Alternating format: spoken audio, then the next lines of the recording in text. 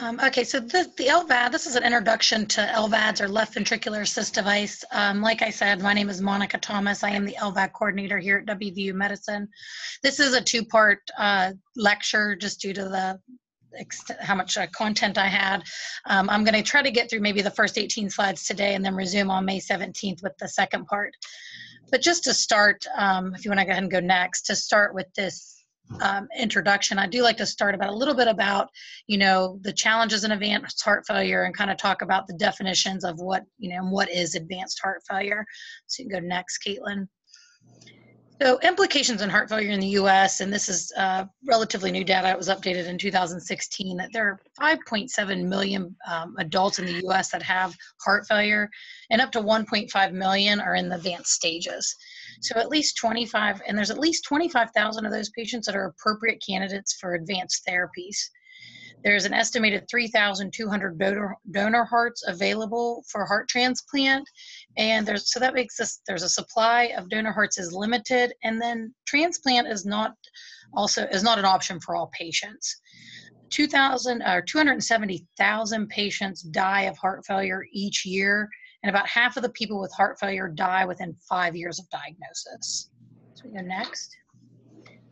Heart failure is the leading cause of death after cancer. In class four, heart failure mortality at one year is similar to that of aggressive malignancies. So you see the one year mortality, lung cancer is at 70% one year mortality, pancreatic at 79, and class four heart failure with optimum medical management is 75%.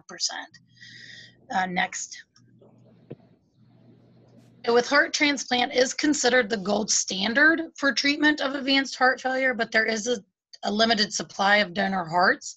So with 25,000 patients that need that are appropriate candidates for advanced therapies, there's only 3,000 estimated 3,200 heart transplants per year. So that leaves a lot of candidates without or a lot of patients without an option. So next. And you can see here how the prevalence of heart failure continues to grow, um, but the number of heart transplants has not kept up pace. We've had a little bit incline. It used 2,500 was kind of where we stood, and then we've jumped up a little bit to about 3,200. So next, we'll go ahead and just kind of talk about a, just a basic understanding of what is heart failure. So due to numerous conditions, the heart does become weak, it becomes stretched, it's unable to pump oxygenated blood effectively to the body. Heart failure can occur left ventricular, right ventricular, or biventricular failure.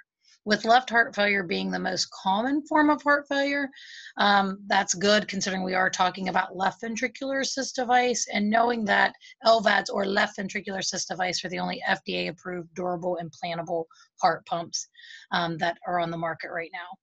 There are 5.7 million people in the US and 600 new cases a year and heart failure costs about $30.7 billion annually. And then 50% of these patients do die within five, five years of diagnosis. Um, with the heart failure, we do stage patients with the NYHA, NYHA scale. We do class one, um, we do stage one class A for mild, stage four class D end stage.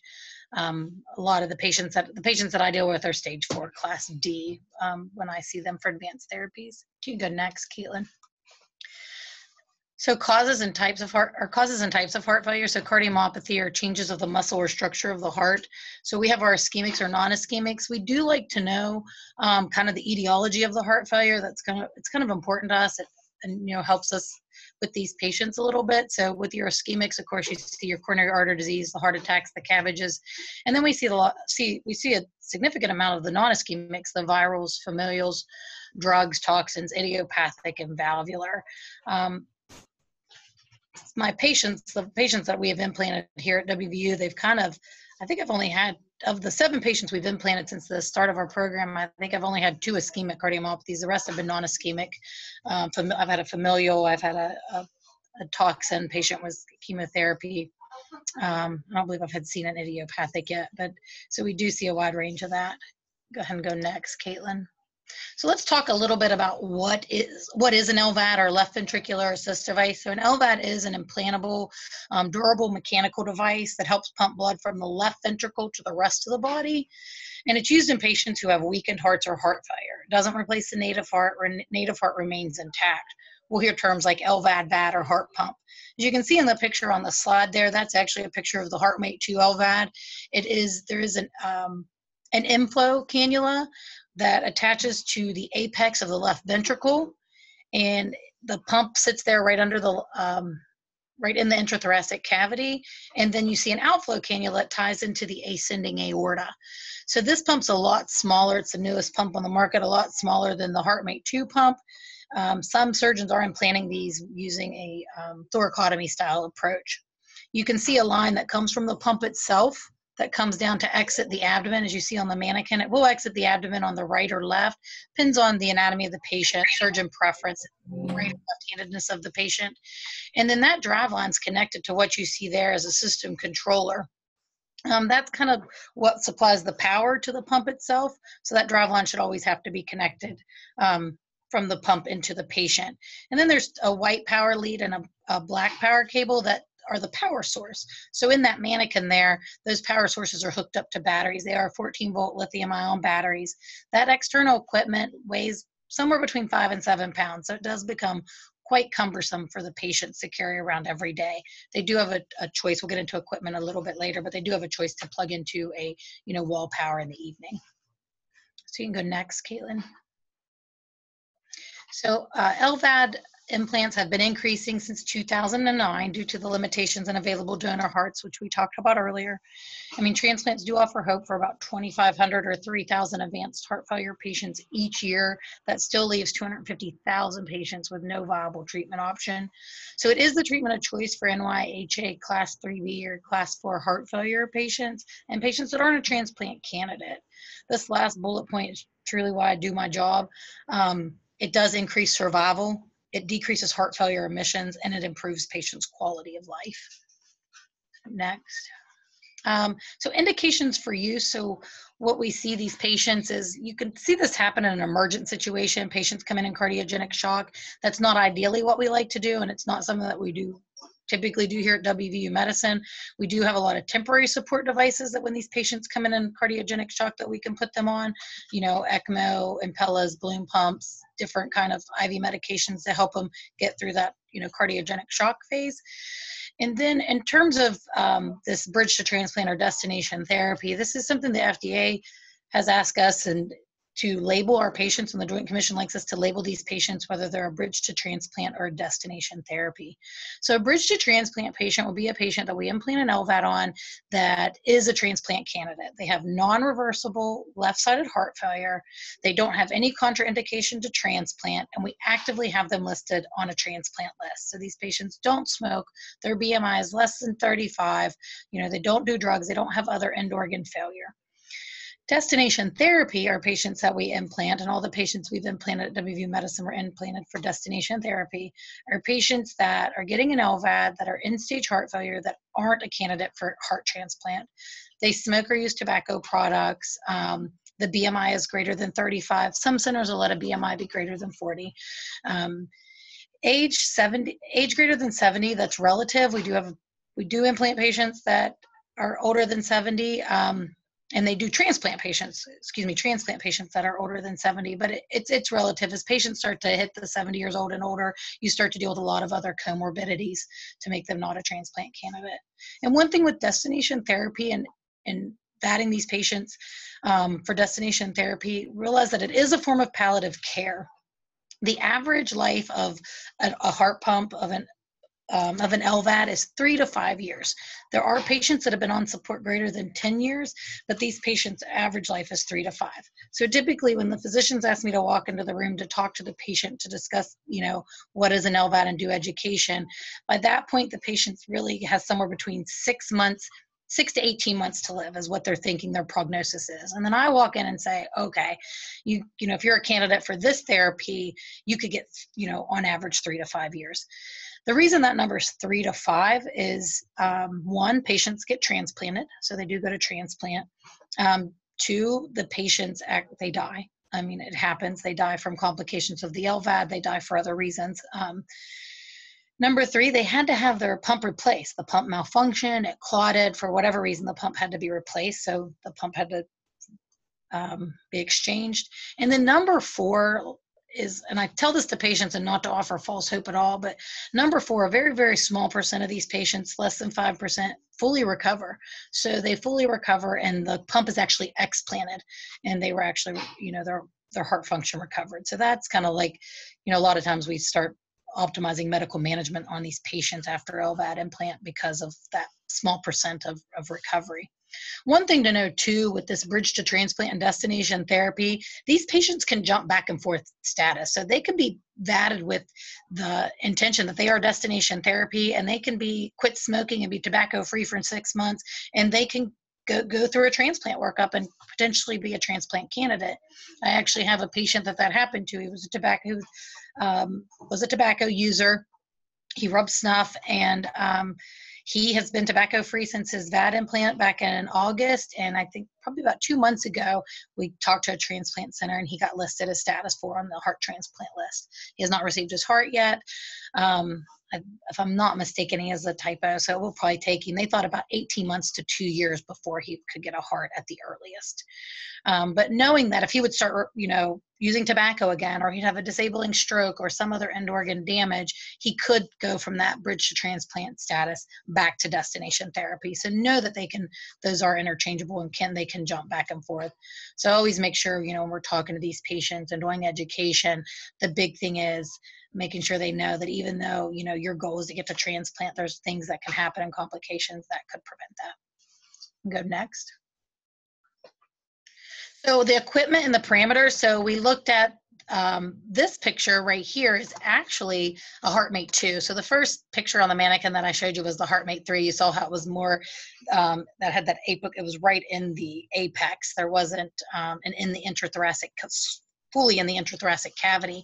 Where the HeartMate 2 is a little bit larger pump. It's a coaxial pump that has to be put into the intra-abdominal cavity, and they have to actually build a pump pocket for it for that for that pump. It still ties in, the inflow cannula still goes into the apex of the left ventricle, and the outflow graft still ties into the ascending aorta. You'll note that there's still the drive line that would exit one side of the abdomen or the other and connect to that system controller that you see there. And the batteries, the 14 volt lithium ion batteries, are still there, so that five to seven pounds of external equipment. So one thing to know with all these devices that we do have on market, we have the HeartMate 2, HeartMate 3 from Abbott, and then um, HVAD from Medtronic, they all have type of controller that's kind of either the brains of the outfit that kind of runs the computer. With the HeartMate 3, it actually just serves as a power source. So knowing that that always has to be connected. They get batteries for daytime that come with the clips to to plug their equipment into. And then for nighttime, we give them a power source at home. So there's like a, um, they have a, a mobile power unit that they have at their house that they plug in and they can hook up to power at night and charge their batteries. We do send them home with a battery charger. And then every patient um, whenever they present anywhere and if they show up in, in different clinics or different offices i keep i try to keep them very well educated to talk to patients that, or talk to providers that have never seen an lvad i always make sure that they have a backup equipment. I always make them carry backup batteries with them two backup batteries and a backup controller. In the event that they're out and about and their batteries start to die because they got stuck in traffic there was an accident the road was shut down there was a storm that they have those backup batteries in the event um, of you know running behind time or the battery's dying. Also i make them carry a backup controller. So every patient gets the controller that they're hooked up to that runs their pump and then a backup controller that they keep in a bag with them. And that's in the event that the controller would malfunction. Um, we teach them how to do a controller exchange. If it's not an emergent thing for a controller exchange. I will bring them into the hospital, but some of my patients live three hours away. And if it's something urgent or something that needs done that I can't get them into the hospital, then I've, I've trained them on how to do a controller exchange um, in the event that they would need to do that.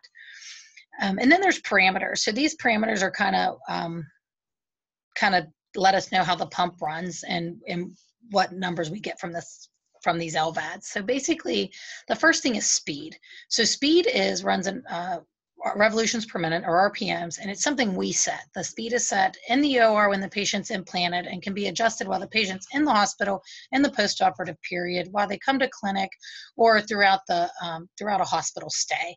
That can be changed. We have a, a system monitor that we keep in the hospital where we can interrogate the LVAD and change their speed.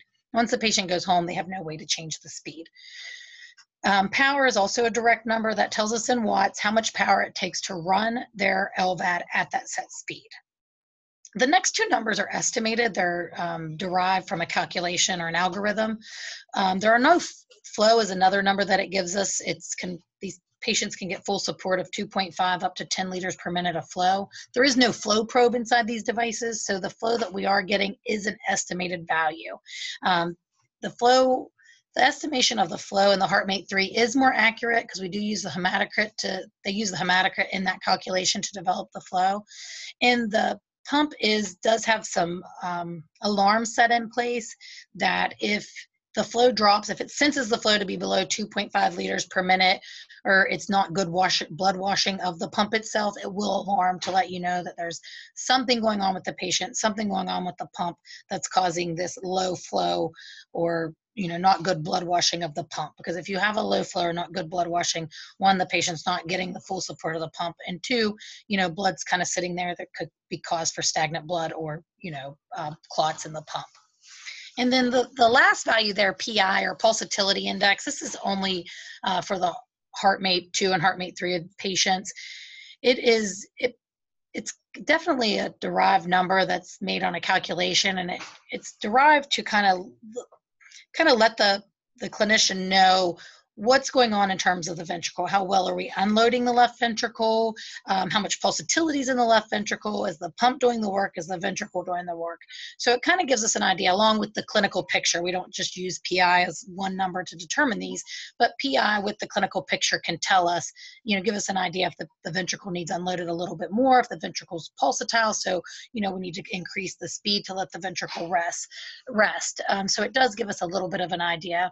It also, with that cal- with that calculation of PI, what one thing that's nice is it does have a parameter in place that if it senses, you know, a change in intrathoracic pressure, and it's again a calculation, um, it it will drop to a low speed limit um, to prevent the ventricle from sucking down on itself because we do have a set speed. The the speed is set um, and the pump just runs at a set speed.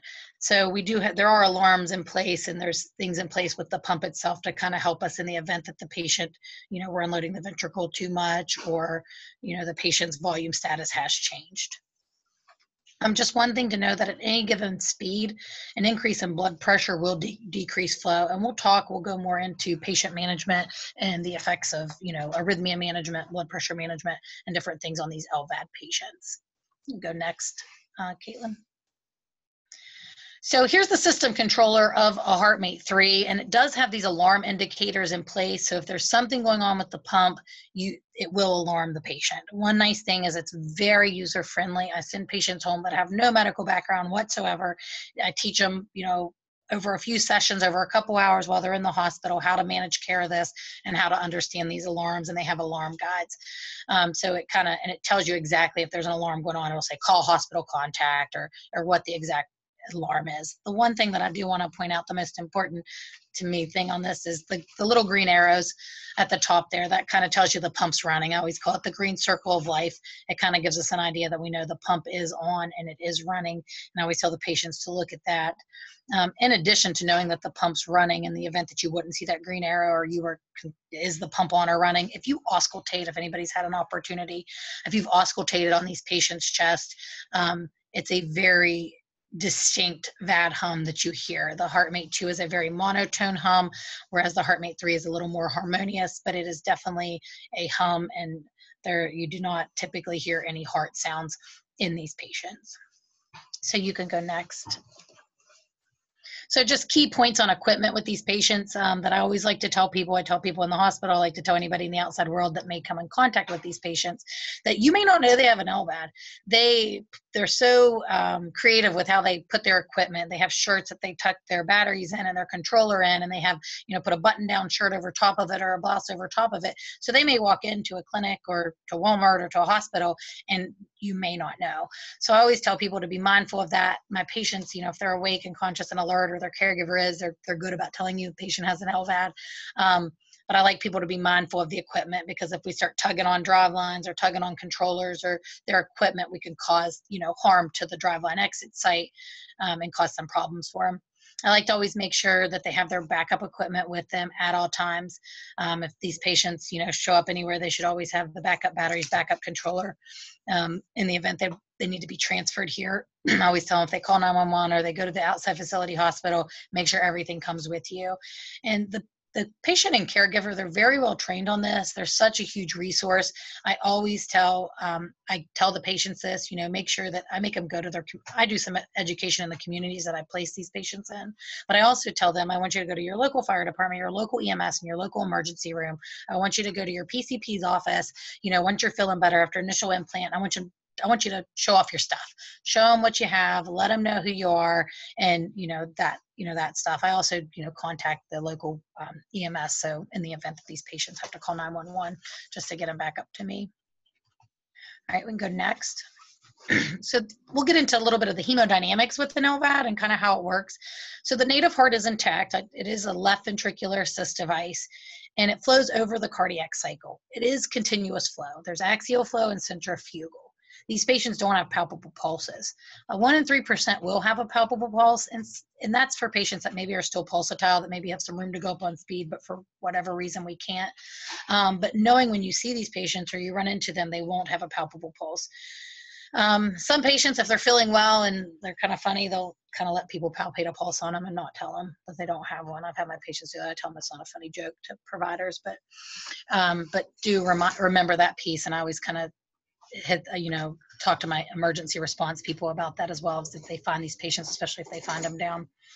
Um, these these devices are very afterload sensitive. So if these patients, when I showed you the pump, it, the outflow graft ties into the ascending aorta, and I told you it is a fixed speed. We set that speed. So the pump runs at this set set speed, and it's putting oxygenated blood into the ascending aorta. And if the patient has a high afterload or they're hypertensive, it's going to cause that pump still running at that set speed. It doesn't have the ability to overcome that. So what happens is you end up with a retrograde flow, reduced LVAD flow, and reduced cardiac output. output. So as these patients continue are hypertensive over a period of time, you will see them start to show signs and symptoms of heart failure because they're not getting the full um, they're not getting the full flow or the full benefits of the LVAD. And what you see too with the retrograde flow in these patients is, I'm sorry, with the retrograde flow, retrograde flow, stagnant blood, these patients have the potential to clot. The HeartMate 2 LVAD is one of the LVADs that was prone to pump thrombosis. So we really try to manage these patients' um, hypertension. In addition, they're preload dependent, so they have to have volume. The right ventricle has to be working well enough to get blood from the right side of the heart to the left side of the heart because the left ventricle, the pump is just pulling blood at the set speed out of the left ventricle, pulling volume. If the right ventricle can't keep up and get blood over there, or the patient's hypovolemic, you're it's going to result in some suction conditions. So basically, what happens is, as the LVAD is pulling blood out of the left ventricle. There's not volume getting from the right ventricle to the left ventricle. It's going to continue to go at that set speed, and you're going to have what we what we call a suction event, where the ventricle just collapses on itself. Now, I said earlier, there are some alarms in place um, that can tell that can sense that. And if they sense a change with that PI, that pulsatility index that we talked about, if they sense a change in the intrathoracic pressure, um, the pump will drop to this low speed, preset low speed limit um, to allow the ventricle to kind of refill. But as we see this over time, um, as we interrogate the device and we see that it's constantly sucking down on itself, we have to further evaluate. Is the patient dry? You know, is the right ventricle failing? Like what's going on? And over time, if the if the ventricle is left ventricle is truly sucking down on itself, eventually the right ventricle is going to fail. That septum is going to keep shifting and the right ventricle is going to fail. And like I said earlier, there's no durable implantable right FDA approved right ventricular assist device. There are some centers that are placing them, um, but typically when these patients do go into right ventricular failure after LVAD um, implant, we're looking at temporary support, which means they're hospitalized in the ICU for weeks to months. We're looking at home inotropes, dobutamine. Um, I do have a patient that did have right ventricular um, failure. He ended up on, you know, temporary RVAD support. He's home on home dobutamine. So it, it does get pretty ugly when the right ventricle starts to fail. So real important that, you know, we manage the preload and afterload of these patients. The, the failing heart's still in the body, so we still have to treat the heart failure even after the LVAD's implanted. We like them to be normotensive and we like them to be euvolemic. Um, we can go ahead and go uh, next. So blood pressure management, uh, just it's difficult. I told you this is a continual flow device, so these patients don't have palpable pulses. So putting a automatic cuff on a patient's not going to work or yield um, an accurate blood pressure. So what we do is we do a Doppler pressure with these patients. So basically, manual cuff on the arm, a Doppler, some ultrasound jelly. And we Doppler in the brachial area, and you'll hear like a whoosh sound. And it's a very faint whoosh sound that you will hear when you kind of Doppler the sound from the LVAD because it is like a continual flow and you will pump the cuff up. I tell the, the, the clinic staff and you know the, the, nursing unit staff pump the cuff up to about 100, 120 millimeters of mercury. If you think they're hypertensive, go a little bit higher and slowly release.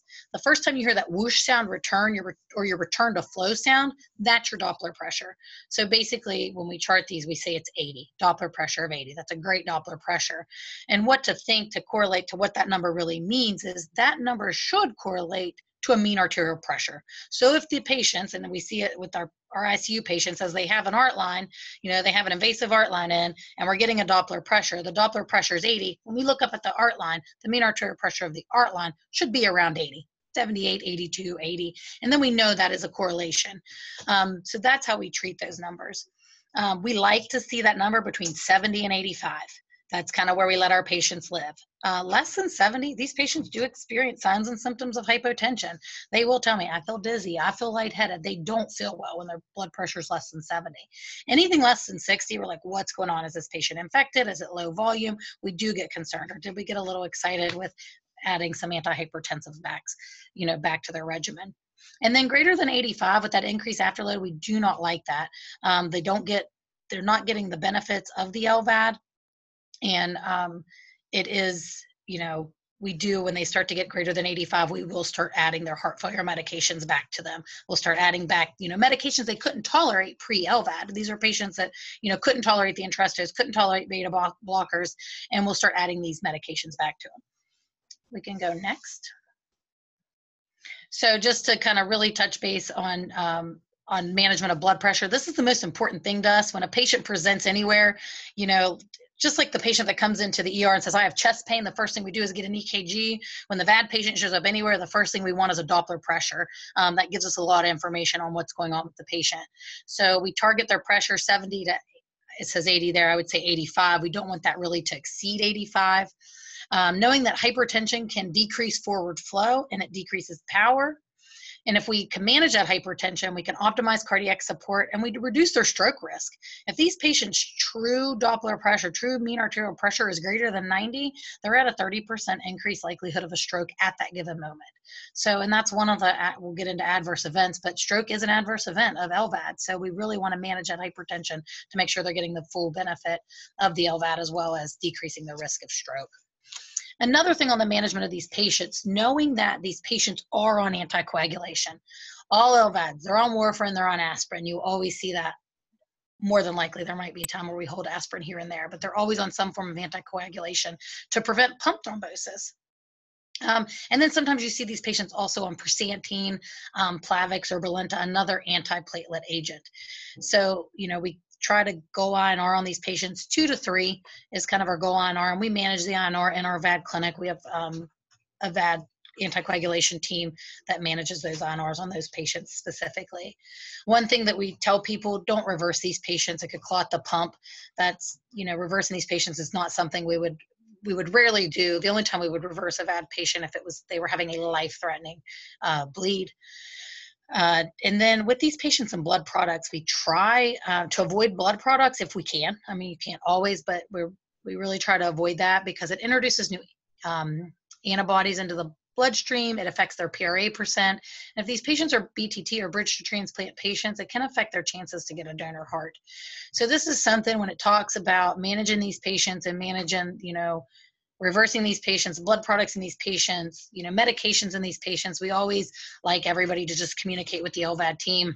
Um, I have a slide on here that gives you all our contact information and how to get a hold of us. Uh, 24 7, you can get a hold of anybody on our team, uh, typically me and my pager number. Um, I'll give anybody my cell phone if you come in contact with these patients and need to get them up to us. Uh, we can go next. And this will be the last slide, and then uh, the, the next time we'll start into part two. So arrhythmia management in these patients. So when you put these patients on EKG, you should see whatever rhythm they're in. You should see it. Um, there is there has been some talks of with the HeartMate 3 LVADs, lead placement could give you some artifact, but in terms of hooking these patients up to an EKG or get a, a, you know hooking them up to a monitor or getting an EKG, the rhythm you see is the rhythm you you have, and and knowing sometimes with these patients they can tolerate you know, lethal arrhythmias that a normal patient couldn't tolerate or an arrhythmia that they couldn't tolerate, you know, pre-LVAD because they are being assist, you know, they do have an assist device. So knowing you could see VFib and they're awake. So just be mindful of that. But it's okay to give them amiodarone, lidocaine, cardiovert, or defibrillate. You can do that. It's not going to interrupt the pump at all. So, you know, and we do want you to do that if these if you find these patients and they are in, you know, a lethal arrhythmia, they we do want them, you know, we cardioverter them, defibrillate them if you have to, because as that ventricle's quivering, what will happen is, you know, the risk of thrombus.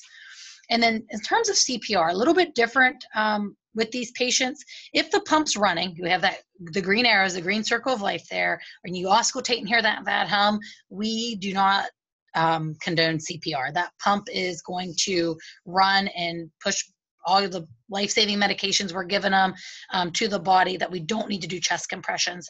There is the the notion, you know, around the VAD community that chest compressions could um, dislodge one of the cannulas.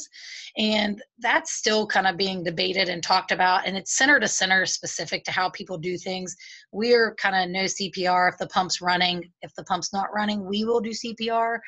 Um, but we're starting to see changes. I hear some centers are talking about um, modified compressions. I'm not really sure how that exactly works, but you know, our theory is if the pump's on and running, it's going to push the life-saving medications in the event of a, you know, a, an ACLS situation with these patients.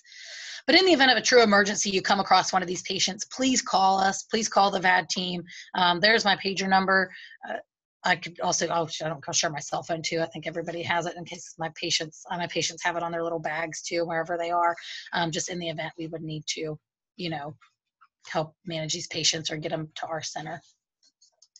So I'll go ahead and stop there with part one. And if we have questions, you guys can ask questions, or if there's other things that I should, you know, you want me to touch on for part two, I can add to that as well. Awesome. Thank you so much, Monica. Thank you. Yeah. All right, guys, you're all on mute, but you're welcome to unmute yourself and ask some questions. We have plenty of time.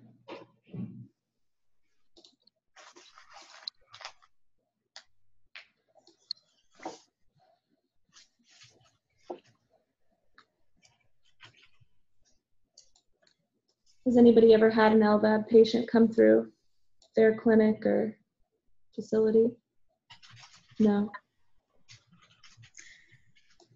I do get, um, of course, I have said I have seven patients, but we do get a lot of patients from um, outside facilities that show up at our ER a lot. So I get some um, Cleveland Clinic VAD patients, some AGH VAD patients that are going to show up here I think, as I said, you know, they know we have a VAD center, but I know Char- if anybody's from the Charleston area, I know I have, there's several. Not I don't have any patients down there, but Cleveland as well as um, AGH has some VAD patients in the Charleston and I think Elkins area.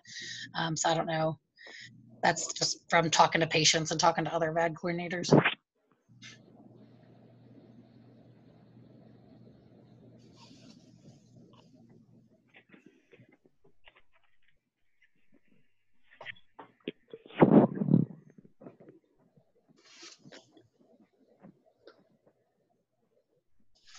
Monica, how new is this? Like, is there, like, it doesn't seem to be a super common thing. No.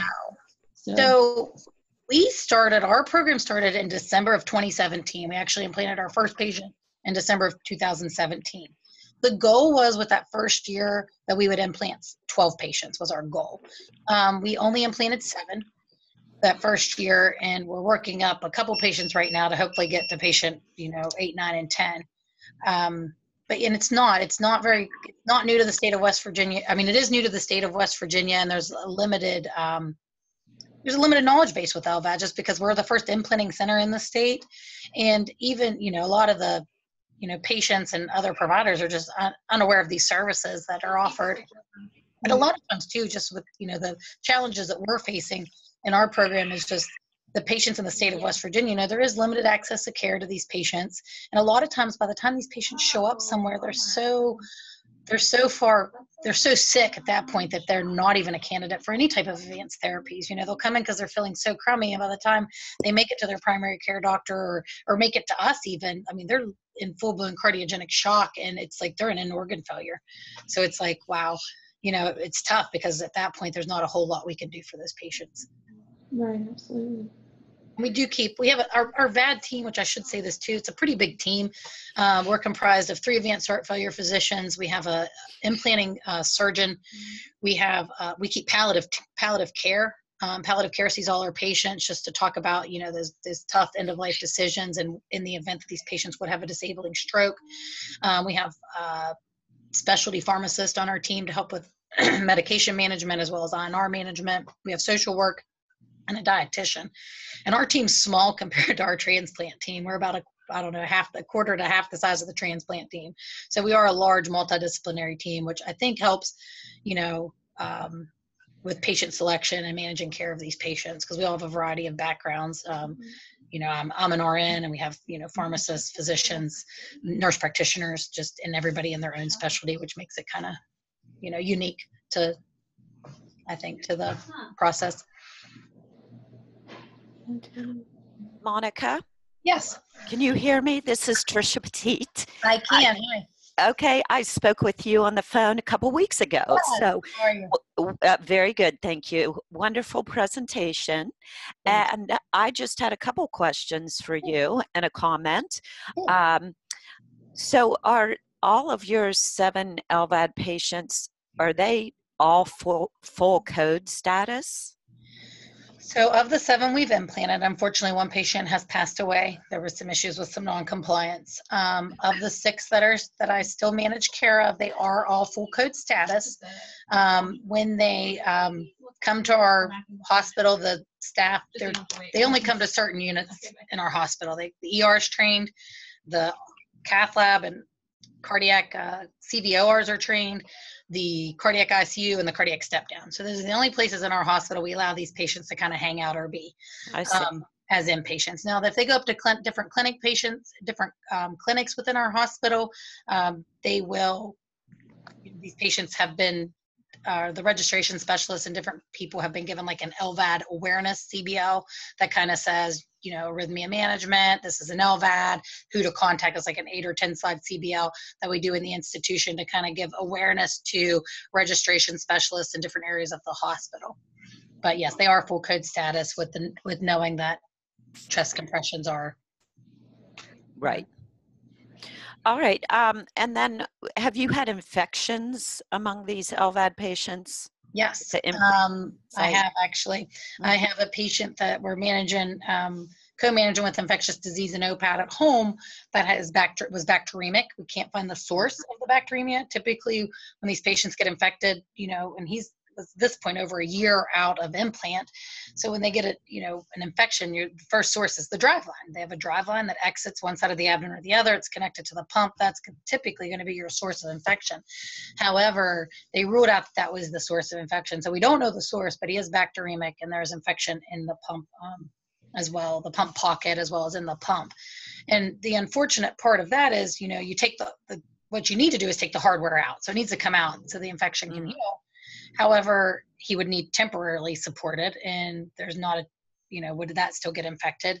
So he really would, the treatment here would be a transplant. However, due to a relapse in smoking, he's not a transplant candidate at this Oh, time.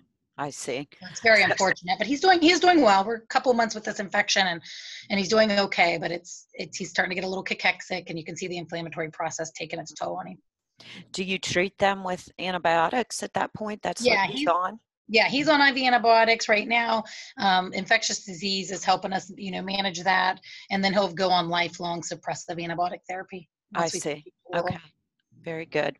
Um, the comment that I had to make was that I was speaking with an uh, ER nurse a couple weeks ago um, out of Reading, PA, and she was saying that they will have LVAD patients come through their ER and they'll need uh, replacement batteries. They don't have batteries, and they'll end up giving them the batteries, and then they're transported out because they don't treat LVAD patients there. Yeah. And so then they lose their batteries, and apparently the batteries are quite costly. Yes, very expensive. Very Mhm. expensive.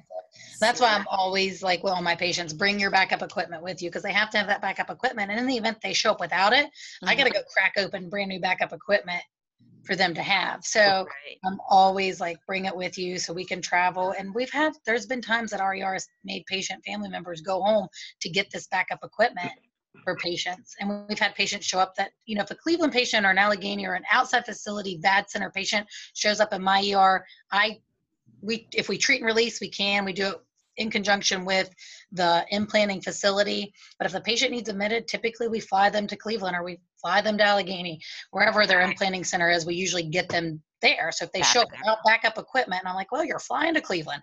You need backup batteries. So I would run into that in, that instance where I might have to give them some backup batteries. For batteries. So are most um, emergency rooms, uh, are they, do they have backup batteries for the most part or not? In West Virginia, no. No, they do Now, not. They show up and they show up and uh, if they walk into the emergency room, my my patients are pretty well trained and educated on the fact that they don't just show up at an emergency room like they call me first. And typically, and I talk like I said, I, I've educated the EMS in the area that I place these patients. So if they have to go pick them up, the goal is to get them to me, and they'll do that. I'll say, hey. This patient XYZ is going on. I'll call and talk to the EMS. And I was like, Can you just drive them straight to me? And they will. They'll bypass three hospitals to get them to me. Um, and there's other hospitals don't want them. They're like, ah, you know, Oh, yeah, no, they don't know how to treat them. Yeah. they don't. And then, you know, so when they were bringing the one patient to me, I said, listen, if she's unstable, they might have to stop at UHC. So let me know so I can like prepare them for what's going to happen if the patient is up there. If I, I mean, I could run down there. I'm not that far, but you know, typically HealthNet gets them right to us. So the goal is to get them, you know, Wonderful. Okay. Thank you very You're welcome. much.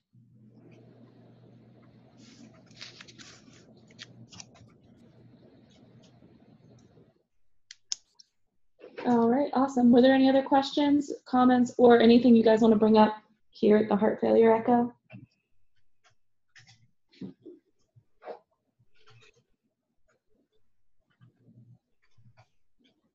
No?